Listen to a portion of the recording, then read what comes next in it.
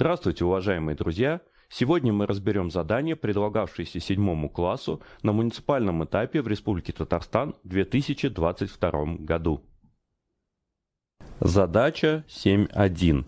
Первую часть своего пути до домика медведя девочка Маша шла пешком. Оставшийся путь ей помогли преодолеть волки на своей машине скорой помощи, чья скорость была в пять раз больше, чем скорость девочки. Зная, что на первую часть пути девочка потратила три четверти всего времени своего путешествия, а средняя скорость на всем пути до домика медведя составила 5 метров в секунду, определите скорость, с которой шла Маша, и какую часть всего пути до домика медведя девочка шла пешком. Введем обозначение. Пусть v – это у нас скорость Маши –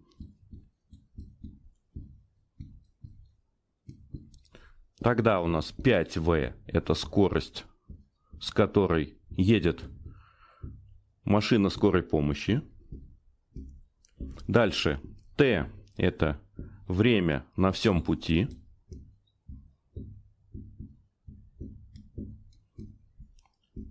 И тогда что у нас получается? Что первый участок Маша прошла за 3 четвертых этого времени, поэтому пройденный ею путь на первом участке будет равен v умножить на 3 четвертых t.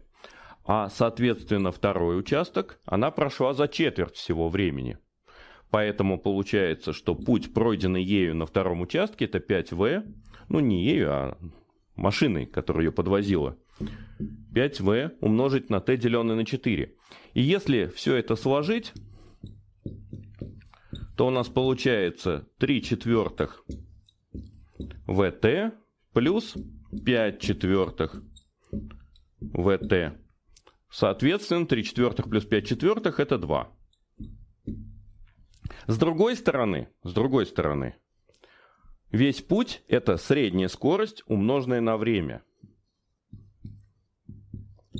Сопоставляем одну формулу с другой и получаем, что Средняя скорость равняется 2v. Ну а соответственно скорость Маши это будет средняя скорость пополам. То есть, вспоминая числовое значение средней скорости 5 метров в секунду, получаем 2,5 метра в секунду. Ну а теперь отвечаем на второй вопрос. У нас известно, что путь пройденный Машей на первом участке это 3 четвертых ВТ.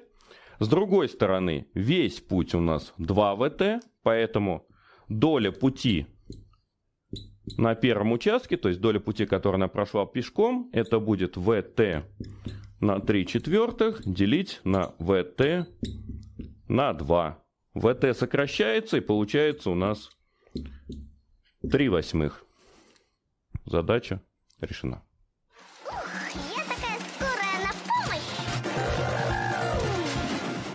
Задача 7.2. Вернувшись с рыбалки домой, медведь обнаружил в огороде двух зайцев, бесцеремонно собирающих урожай моркови и капусты. Увидев медведя, зайцы одновременно бросились бежать в противоположные стороны. Первый с ведром моркови побежал со скоростью 6 метров в секунду, а второй с мешком капусты со скоростью 4 метра в секунду. Подумав немного, за кем бежать, Медведь бросился в догонку за зайцем с морковью. Через две минуты догнал его, отобрал овощи и отчитал воришку в течение 40 секунд. Затем побежал догонять второго. Первый вопрос. Через какое время после этого он догонит второго зайца? И второй вопрос. Сколько времени медведь обдумывал, за кем ему побежать в первую очередь? Скорость медведя во время погони всегда равна 7 метров в секунду. Считать, что все персонажи начали бежать из одной точки и движутся вдоль одной прямой. Пусть у нас зайцы разбегались из точки О. Допустим, она находится здесь.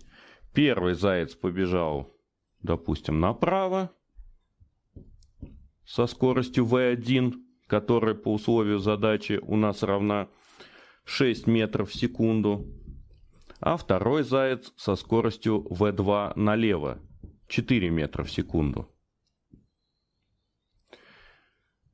Допустим, медведь думал в течение некоторого времени Т0. За это время первый заяц успел убежать куда-то сюда, на расстояние В1 умноженное на Т0.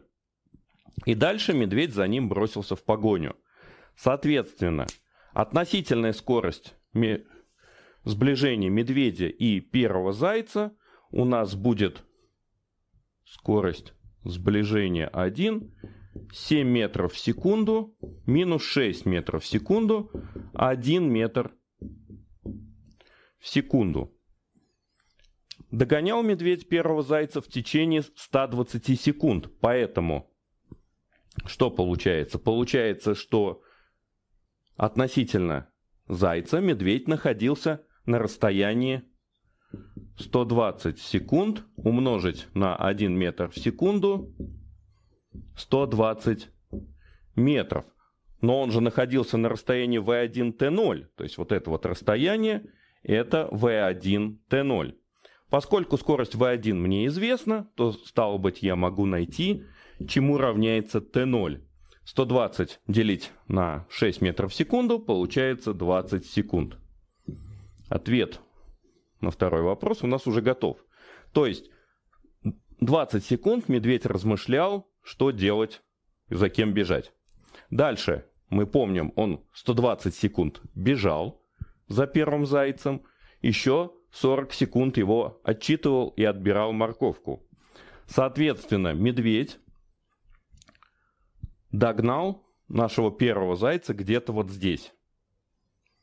Он бежал со скоростью, напомню, 7 метров в секунду в течение 120 секунд. То есть вот здесь у меня 840 метров.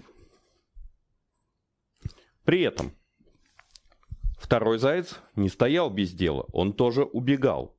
Он убегал 20 секунд, пока думал медведь, 120 секунд, пока медведь догонял первого зайца, и 40 секунд, пока он его отчитывал. То есть в течение 180 секунд он убегал в ту сторону. И поэтому он теперь находится на расстоянии 180 умножить на 4, 720 метров. И в результате получается, что между медведем и вторым зайцем уже будет 840 плюс 720, 1560 метров. То есть расстояние между медведем и вторым зайцем 1560 метров. Ну а дальше медведь опять догоняет второго зайца, но относительная скорость, скорость сближения во втором случае у нас уже 7 метров в секунду минус 4 метра в секунду. То есть 3. Делим одно на другое, и получается, что время, в течение которого медведь будет догонять второго зайца, 520 секунд. И это ответ на первый вопрос данной задачи.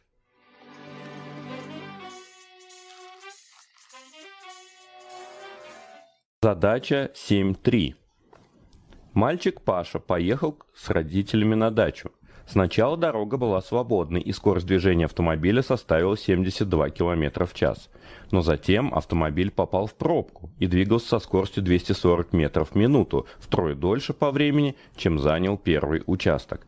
Оставшийся отрезок пути до дачи был посвободнее, и автомобиль смог разогнаться до скорости 15 метров в секунду. Определите, какую часть всего пути от дома до дачи автомобиль был в пробке, если время, затраченное на поездку, оказалось в два раза больше, чем в случае, когда автомобиль проехал бы весь путь с первоначальной скоростью. Нам известно, что автомобиль проехал в обычном своем состоянии данный путь со скоростью 72 км в час за некоторое время, а в той ситуации, которая описана в условии задачи, он преодолевал тот же самый путь в два раза дольше. Поэтому пусть у нас t – это время на дорогу в обычном состоянии со скоростью 20 метров в секунду. Ну, оно же 72 километра в час. Поэтому я могу записать, что расстояние от дома до дачи, это будет 20 метров в секунду умножить на t. С другой стороны, с другой стороны, то же самое расстояние, это будет 20 метров в секунду, умножить на некоторое t1, это время, которое автомобиль провел на свободном участке, на первом. Далее, 240 метров в минуту, это 4 метра в секунду всего лишь. 4 метра в секунду, и в пробке он провел в 3 раза больше времени, то есть 3 Т1. Ну и последнее. 15 метров в секунду, скорость на третьем участке, а время, затраченное на третий участок, это будет в два раза большее время, то есть 2Т, минус то, что уже потрачено, то есть 4Т1.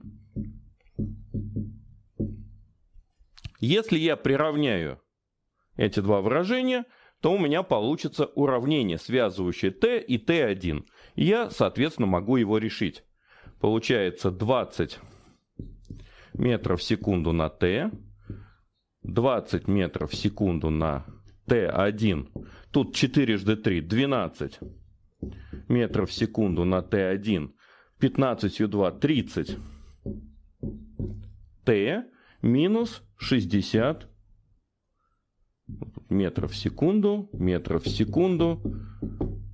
Т1. Метр в секунду можно сократить, чтобы они в дальнейшем не мешались. И дальше что у нас получается? При времени t здесь 30 коэффициент, здесь 20, переносим и получается справа 10. При времени t1 32 минус 60, это получается минус 28, переносим сюда, будет плюс 28. Т1 равняется 10 Т. Ну или если поделить, то получается у нас, что Т1 это будет 10 28, ну или 5 четырнадцатых от времени Т. Ну а теперь нам нужно вспомнить вопрос задачи, какую долю пути автомобиль пробыл в пробке. Вот, собственно, путь, который автомобиль проехал в пробке. Вот весь путь, осталось поделить одно на другое. Поэтому получается S2, ну это же S2 у нас, делить на S будет 12 метров в секунду на T1, а T1 это у нас 5 четырнадцатых T. S это 20 метров в секунду на t. t сокращается, метры в секунду тоже сокращаются. Дальше на 5 можно тоже сократить, тут получается 4. 12 4 это 3, то есть в итоге получается 3 четырнадцатых. Можно, конечно, поделить 3 на 14, и получается примерно 21 сотая, а можно и не делить. Вот ответ на нашу задачу. Задача 7.4. На дне пустого аквариума находится колодец, открытый сверху сосуд, стенки которого сложены из четырех одинаковых толстых прямоугольных пластин. На рисунке А изображен вид сверху. Пластины склеены между собой и дном аквариума так, что вода сквозь швы внутрь колодца не протекает. В аквариум снаружи от колодца со скоростью 45 мл в секунду начинают наливать воду. Используя график зависимости высоты уровня воды вблизи стенок аквариума от времени, приведенный на рисунке Б, определите площадь дна аквариума, высоту колодца H и длину стороны его основания L, толщину стенок колодца А. Стенки аквариума и стенки колодца вертикальны. Перерисуем сначала график из условия задачи. У нас по вертикальной оси отложена высота сантиметрах, по горизонтальной время в секундах, здесь 0. И дальше график примерно выглядит вот таким вот образом. Первые 30 секунд он возрастает до отметки 9 сантиметров. Дальше он в течение 20 секунд горизонтален. Ну и еще 50 секунд он возрастает, но несколько медленнее. И до отметки в 15 сантиметров. Дальше график не нарисован. Что там происходит, мы не знаем. Возможно, тенденция сохраняется. Что мы можем сказать по этому графику? Во-первых, поскольку у нас в сосуде, вот если смотреть сбоку, есть вот такой вот колодец, воду мы наливаем с внешней стороны, Поэтому вначале вода заполняет ту часть сосуда, которая находится снаружи от нашего колодца. То есть она где-то вот здесь в начале. Поднимается, поднимается, и как только вода достигнет края колодца, она начнет заливаться внутрь. И уровень с точки зрения внешнего наблюдателя перестанет меняться. Поэтому вот у нас второй участочек – который соответствует этой ситуации. А раз он находится на высоте 9 сантиметров, то это и означает, что высота колодца у нас 9 сантиметров. Дальше. По скорости роста, точнее по времени, которое у нас занял этот рост, мы можем определить площадь снаружи от нашего колодца. Как это сделать? Скорость, с которой наливается вода, у нас 45 кубических сантиметров в секунду. В условии написано миллилитров, на кубический сантиметр миллилитр это одно и то же. Происходило это в течение 30 секунд. Соответственно, за это время у нас в сосуд попал объем 45 умножить на 30, 1350 кубических сантиметров. Поскольку вода поднялась на высоту 9 сантиметров, я могу поделить, и получается, что площадь наружная это 1350 разделить на 9. Это у нас получается 13 на 9 1, 45 на 9 5, 150 куби... квадратных сантиметров. Наружную площадь мы нашли. Точно так же я могу найти внутреннюю площадь внутри колодца. У меня вода в колодец заливалась в течение 20 секунд, поэтому я беру 45 кубических сантиметров в секунду, умножаю на 20 секунд, получаю 900 кубических сантиметров. Опять делю на высоту 9 сантиметров, потому что высота колодца та же самая. И получается, что площадь внутри у нас 100 квадратных сантиметров. Ну и последнее. А какова же общая площадь дна сосуда? Чтобы это понять, мы рассмотрим последний участок. Там вода наливалась в течение 50 секунд. Ну, как минимум мы про это знаем, что дальше происходит неизвестно. Поэтому у нас будет 45 кубических сантиметров в секунду умножить на 50 секунд, и все это разделить на высоту 15 минус 9, 6 сантиметров.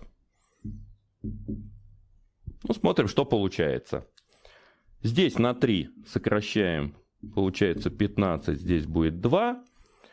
15 на 50 это 750, пополам 375 квадратных сантиметров. Таким образом, ответ на первый вопрос 375 квадратных сантиметров. Ответ на первую часть второго вопроса 9 сантиметров высота колодца. Но нам нужно найти его размер. Чтобы это сделать, нам нужно из общей площади дна сосуда вычесть наружную площадь и получить, собственно, площадь квадрата который образует колодец своими внешними стенками. 375 минус 150 получается 225. То есть S минус S наружные. Это будет 225 квадратных сантиметров. Какие числа нужно перемножить, чтобы получить 225? Ну, имеется в виду одно число само с собой – это число 15, то есть вот эта сторона равна 15 сантиметрам, а это как раз L по условию задачи. Теперь, внутри колодца пустота тоже имеет форму квадрата. Поскольку внутренняя площадь у нас 100 квадратных сантиметров, это означает, что сторона квадрата равна 10 сантиметров. Ну и в результате мы получаем, что внешняя сторона 15, внутренняя сторона 10, значит две стенки в сумме дают оставшиеся 5 сантиметров. Ну а, соответственно, одна стенка имеет толщину 2,5 сантиметра. Таким образом, мы с вами ответили на все вопросы данной задачи.